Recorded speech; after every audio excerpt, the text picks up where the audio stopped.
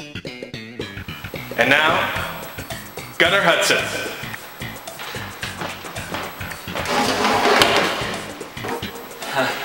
Hey. Uh, hello? Like, like, I can't see an- anybody. So, it's, it's, well, fat people, it's tough to be fat sometimes.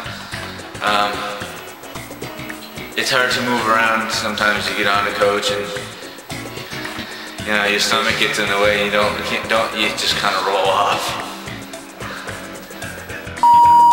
Sometimes, like if you fall, if you drop stuff, and sometimes you're so fat that it's. Uh, sometimes you just ask yourself, do, do, do you even need to pick it up?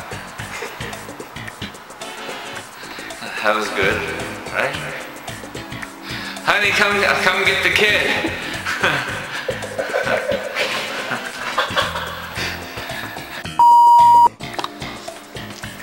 So, did you ever notice um, some of the, the, the big women that they uh, they're they're big and their stomach kind of hangs down in front of their virgin. Uh.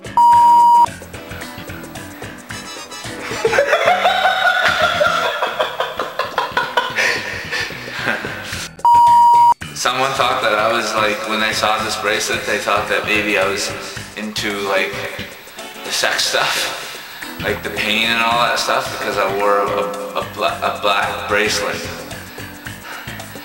I saw another one on the ground, but I didn't want to pick it up.